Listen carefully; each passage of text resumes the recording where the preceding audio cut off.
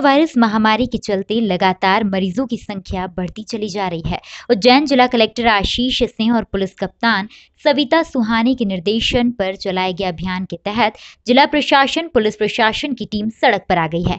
लगातार समाज के दुश्मनों के ऊपर कार्यवाही की जा रही है।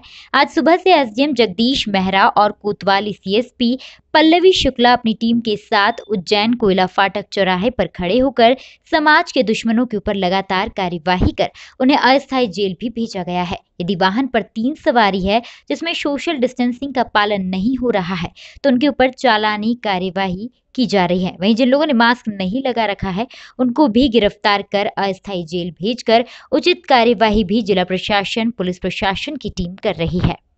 कलेक्टर ने बोला है कि समाज तो हमारे वरिष्ठ अधिकारियों के निर्देशन में ये पुलिस और प्रशासन की संयुक्त टीम द्वारा कार्यवाही की जा रही है। इसके अंदर जो लोग सोशल डिस्टेंसिंग फॉलो नहीं कर रहे हैं जो मास्क नहीं लगा रहे हैं उन पर चालानी कार्रवाई की जा रही है और उन्हें गिरफ़्तार कर ओपन जेल माधवनगर भेजा जा रहा है। तीन सवारी पर भी चालानी है कार्रवाई की जा रही है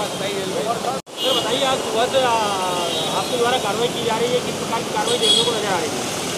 आ, ये जो कोरोना का जो अभी समय चल रहा है इसमें अभी देखने में ये आ रहा है कि कई आ, जनता में अधिकतर लोग जो है मास्क का पहनना कम किया है उन्होंने और सोशल डिस्टेंसिंग का पालन करना भी कम किया हुआ है। ऐसी स्थिति में कलेक्टर सर और एसपी सर द्वारा जो है निर्देश दिए गए हैं कि इन लोगों को मास्क पहनना अति आवश्यक है और जो सोशल डिस्टेंसिंग है उसका पालन करना बहुत आवश्यक है। इसके लिए एक सांकेतिक रूप से माधव कॉलेज में एक अस्थायी जेल का निर्माण किया गया है। ऐसे लोग जो मास्क नहीं पहनते हैं या सोशल डिस्टेंसिंग का पालन नहीं कर रहे हैं, उनको अस्थायी रूप से हम जेल भेजने की कार्रवाई कर रहे हैं। अभी तक लगभग हम लोगों ने सुबह से पंद्रह लोगों को जेल भेजा हुआ है अस्थायी जेल में।